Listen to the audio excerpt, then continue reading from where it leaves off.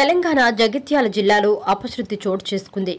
వరదలో చిక్కుకున్న వారి న్యూస్ కవరేజ్కి వెళ్ళి నీటిలో కొట్టుకుపోయిన జగిత్యాల ఎన్టీవీ జర్నలిస్ట్ జమీర్.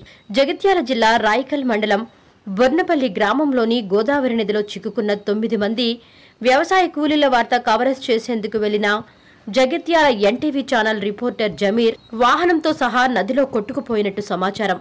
పూర్తి వివరాలు తెలియాల్సి ఉంది. ఈ సంఘటన నిన్న రాత్రి అనగా మంగళవారం నాటి ఘటన.